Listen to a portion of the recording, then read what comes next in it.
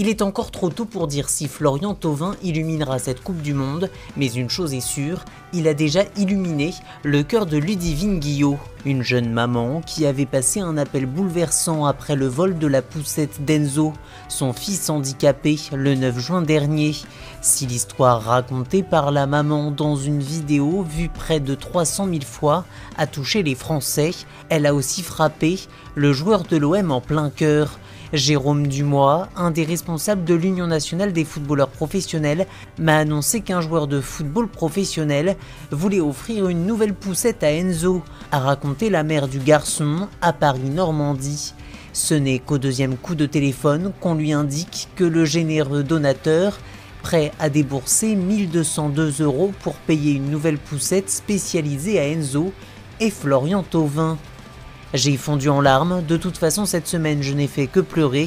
Je remercie vraiment tous les gens qui nous sont venus en aide, a-t-elle expliqué à Paris-Normandie, avant de préciser que les nombreux dons perçus ces jours-ci par l'association de l'espoir pour Enzo devraient servir à acheter un véhicule adapté au futur fauteuil de son garçon.